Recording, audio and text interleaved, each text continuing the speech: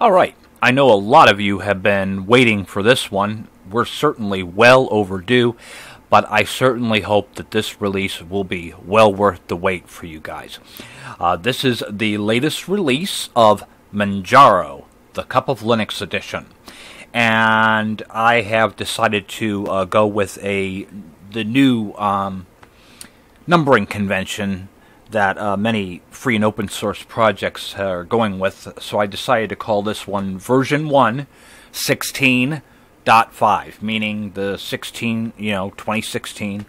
And the dot five, well, the dot five is a little preemptive because I was shooting for a May 1st release, and I got this out a few days ahead of time. So um, I'm that's why I've got the one 16 5. Uh, let's go ahead and log in. As you can see, this is the new login screen for MCOL.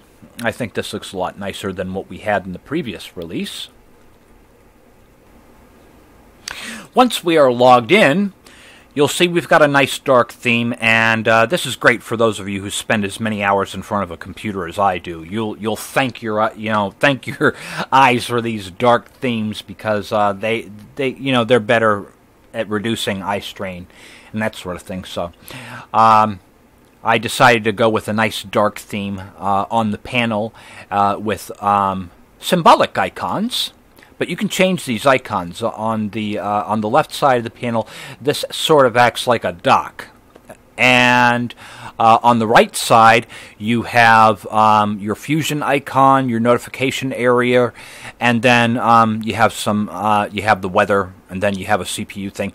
Uh, this one because uh, I couldn't store the theme in user space, and this actually this icon set actually resides in your uh, home directory, you manually change this by right-clicking, going into Properties, and uh, under Appearance here, choose the W Sky Light, and then that icon matches, and then you know the only colored icons you'll see are in the center here, where uh, any open applications will appear you might want to change this from New York City to whatever part of the globe you're in so that you have the correct weather on that. And Lord knows you can add a bunch of other things here. Uh, Fusion Icon is available with this. I am not going to show Compiz, and I'm not going to wobble the windows on this one. Obviously, uh, I did a 10-part video series on Compiz Reloaded. It is included with this. However, I did not include Emerald themes with this because there are so many window borders that ship with this, and uh, the window, the GTK window de- decorator. Um, works very well with them. Uh, by default, uh, when you uh, open up folders, they have borders on them. But if you're really feeling adventurous, uh, go into your settings here and then go into Window Manager You can scroll up here to borderless, and my borderless theme is in there for those of you who are feeling really adventurous and you don't like window borders. so, but you can see here there are so many different window borders with this thing. I mean, the possibilities are just endless with this. So, um, lots of great choices there. Also, um, uh, this icon set that I've included with this, uh, you have lots of color choices for your folders, so um, you can really you can really customize this and make it your own. There are a lot of themes uh, loaded in this. Um, Manjaro Cup of Linux Edition includes all of the same software that the flagship Manjaro XFCE desktop has, with the inclusion of uh, some additional tools. Uh, I already indicated that this has uh, Compiz reloaded with it. It also includes a BleachBit, which is great for keeping uh, your your file systems clean. And there are a bunch of other applications uh, that I uh, threw in as well. Definitely check out the, the release notes. The link will be in the description below on that. Um, got a beautifully themed drop down terminal available to you right here. If you don't like the way I set this up, not a problem. You can easily right click into this, go into properties, you can go into the colors, and you can select a, a, a different preset if that is more to your liking. Uh, I don't expect people to actually, you know, um, use the theme that I have set up with this. I expect you guys to play with it and have fun. Firefox has the uh, same goodness that it had the last time uh, we released it. Um, you get the Cup of Linux troubleshooter. And uh, here, if you're having problems with the Manjaro Cup of Linux edition, you have this customized search that you can use where if you uh, type in a problem, such as maybe you're having a problem with Broadcom, you can do a search. And basically, it searches all of these uh, websites that are Arch based distributions that you can search and uh, possibly find an answer for a piece of Broadcom hardware that isn't working on your system. So I like the customized search feature. I hope this got, uh, works out for you guys very well. Okay, and then of course uh, links to other searches. Uh, you've got the Arch Wiki. I highly recommend that. So we've included links to that. And of course, if you want to download this distribution, just point your web browser to cupoflinux.com. It's all v- the download links are available right here on the front page and uh, well, not just yet. Uh, I have to. I still have to upload them to SourceForge. Uh, there will be. Um, there will be download links up there shortly, and of course, uh, an MD5 hash that you can check against. All right. Um, you also have quick access to uh, a text editor. Uh, this uh, Wineglass is for Play on Linux for running um, your Windows applications. You have Guayesk, I think this is uh, pronounced, as your uh, music player. And then, of course, a lot of people mention that they have issues with Pulse Audio this, Pulse Audio that. So I put a quick lunch to Pulse Audio so that you can configure your uh, audio driver right here very quickly, very easily. I keep one on my uh, on my desktop as well. Uh, VLC is also thrown in with this. Personally, I use MPV as my media player. I also included Mumble on this. Mumble is where we have uh, all of our um, voice chat and everything, and I've got this pre-configured for Cup of Linux Live.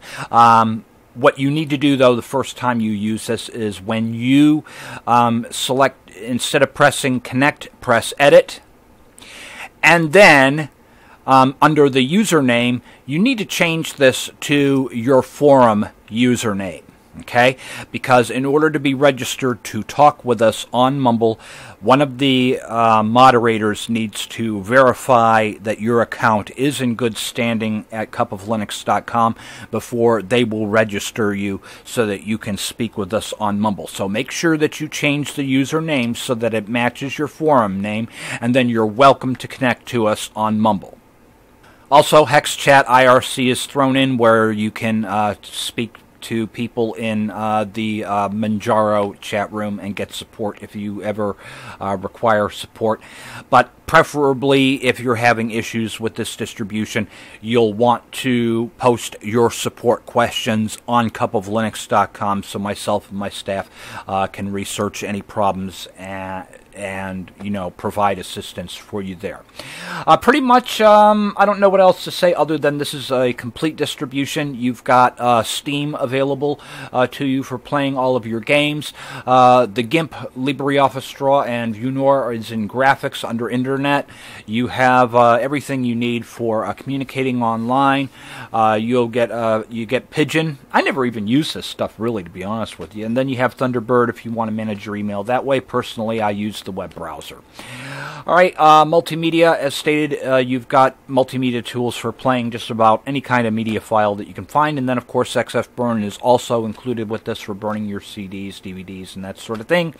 LibreOffice uh, comes bundled in this. I use it myself. What can I say? All right, all the settings you need for uh, configuring this with the addition of. Um, uh, with the addition of uh, theme configuration. Uh, I added this little tool in here so that you can additionally uh, tweak the themes that come with this a little bit further if you want to.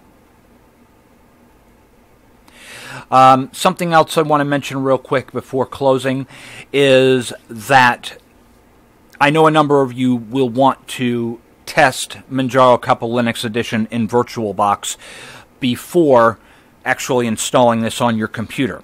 And with that being said, there is a known issue with um, some Linux distributions not being able to boot in VirtualBox using kernel 4.2 or higher.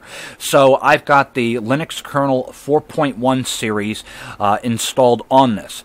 But once you do install this on your hard drive, you can use the Manjaro settings manager to install one of the newer LTS kernels if you wish. I just wanted, I just didn't want to break compatibility with VirtualBox, which is why I used the uh, Linux kernel 4.1 series.